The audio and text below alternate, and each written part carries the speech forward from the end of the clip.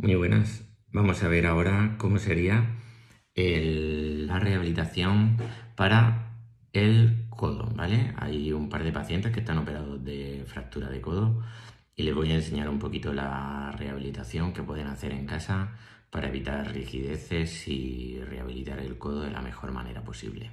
Supinación es poner la palma de la mano mirando hacia la cara y pronación es poniendo la, la palma de la mano mirando hacia el suelo, ¿de acuerdo? Y luego tenemos el movimiento de flexión y el movimiento de extensión, ¿vale? Entonces, como, entonces, como probablemente tengáis rigidez en el codo, tendréis alguna limitación en cuanto a la flexión y la extensión, ¿de acuerdo?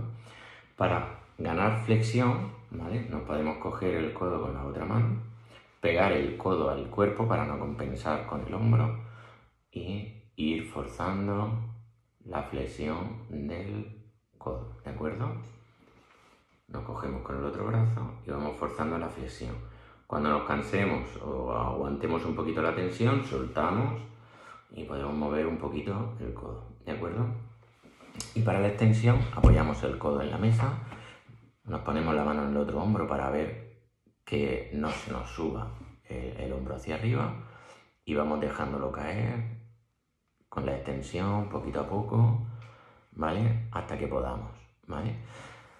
Si vemos que no baja, podemos utilizar cualquier cosa que tengamos en casa. Ahora mismo no vamos a comprar ninguna pesa, ni vamos a comprar nada por el estilo. Podéis coger una botella de leche, una botella de agua que pese aproximadamente un kilo, esta es de un litro, ¿vale? Pesará un kilo y algo. Y vamos suavemente dejando que el peso vaya estirando el codo, ¿de acuerdo? Y nosotros vamos contando poquito a poco la resistencia, ¿de acuerdo? Conforme vayamos teniendo más fuerza, podemos ir haciendo ejercicios con la pesa, ¿vale? Pero si no, dejamos caer, dejamos la botella y volvemos. Cogemos, dejamos caer, dejamos la botella y volvemos, ¿vale? Eso sería lo que tendríamos que ir haciendo. Muy bien, y eso sería todo.